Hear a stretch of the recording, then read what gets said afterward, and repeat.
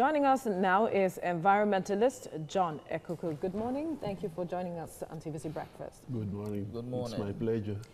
Is this issue, because since 2012 we've been having these issues of flooding, properties destroyed, lives lost, is it really hard not to crack? Yeah, thank you. We've been having the issue since 1948, hmm. Not since 2012. Yeah. So it go- go- goes It way It back. goes yes, way, that way is long drastic ones. The truth about it is that we do not seem ready to swallow the bitter pill. Really? We are just looking for palliatives. Mm, mm, somebody said water doesn't have hands or legs. Are you with me? Yeah. Mm-hmm. And at the same time, it doesn't mean that water will not come and take over your house. You are the one that will prevent the water. I've been coming here maybe since 2012 or thereabout. Please check from time. Don't throw waste indiscriminately. Up till today, the campaign has not achieved much. But this issue Yes. is not just No, about no, I'm, waste. I'm coming. I'm taking it one by one. All right. Number two, don't build along the flood plains. You can see that of Magodo now. Hmm. The government has given them notice that they are going there now to destroy all the houses, about 300, along the flood plains. These are the, you know, the tips of the iceberg we are coming. Number three, we are saying build infrastructure. Let there be along the water banks clear demarcation. If possible, strengthen them with what concrete walls so that the water will be contained. Very many areas till today as I'm talking don't have it. Number four, we've also said that which one should I even take first now? Going further, let's address the climate change. Hmm.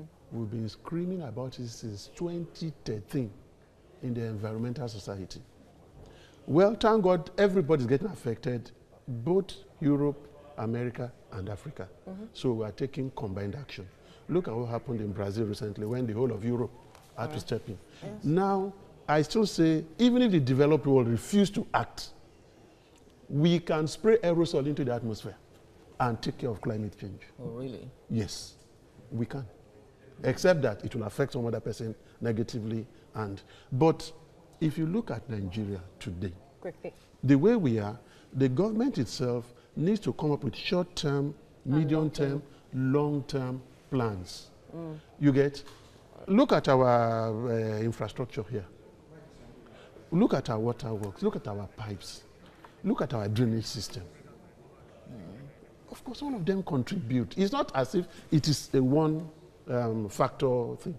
And because you have allowed little, small, small things from different areas to congregate, they have become overwhelming.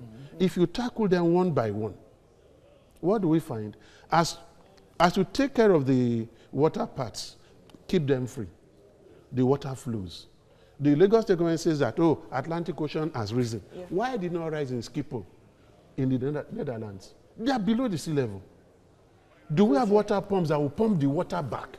We We don't. don't even have that. All right. right. When you when a lot of people say um, stop building on uh, flood plains along flood pla- plains, we have a control agency that is supposed to ensure that no one builds on flood plains. But what we see is uh, people build, uh, the agency just look the other Turns a blind eye. Turns a blind eye.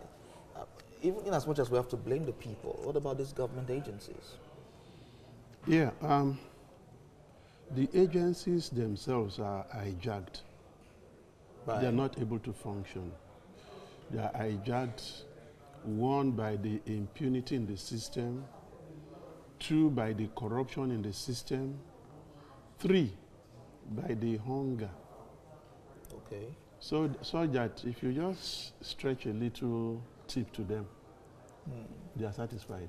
Hmm. Secondly, even if they want to act and order comes from above, that is the end of it, you know. But that is not to excuse their seeming ineptitude. The hmm. point is that before now, it has not become this bad. The Magodo issue is just one in, I mean, in point. until the building now fell and killed four people and, you know, broke down a house on the low. They saw the house on the high side, they saw the one on the lowland, Well, and everybody turned a blind eye. But today now, 300 houses have been earmarked to be So, pulled so down. let's quickly look at uh, short-term solutions, Yeah. mid-term solutions, and even long-term Long-term. solutions. Quickly. Now let's start with the short term.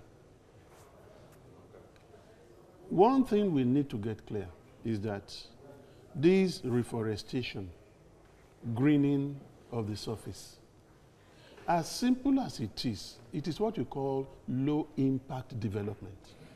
Even abroad, where there's been a lot of development that is concrete development, it is not even able to cope hmm. with these natural effects again.